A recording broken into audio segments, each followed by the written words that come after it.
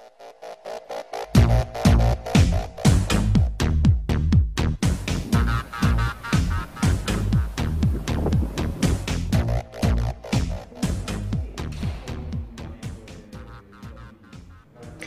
Si parla molto di Giappone, soprattutto in vista delle prossime Olimpiadi che avranno luogo in questo paese, ma cosa conosciamo di questa realtà?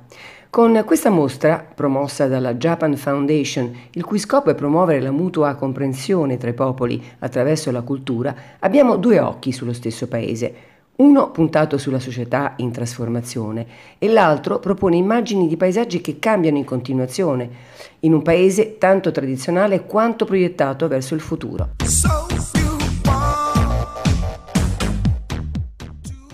L'esposizione ad ingresso gratuito è ospitata sino al 4 gennaio dall'Istituto giapponese di cultura, che offre tra l'altro corsi di lingua e una ricca biblioteca.